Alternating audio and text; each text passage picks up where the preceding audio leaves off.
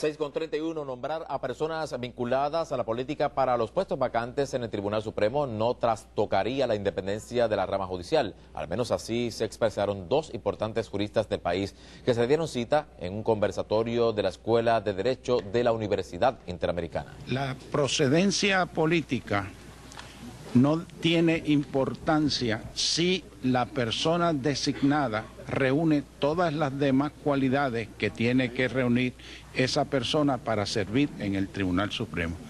Si es una persona buen jurista, si es una persona de integridad, de carácter, si es una persona con buena cultura jurídica, si tiene todas esas necesarias cualidades, entonces la condición política no es eh, importante, yo no diría que pueda ser decisiva.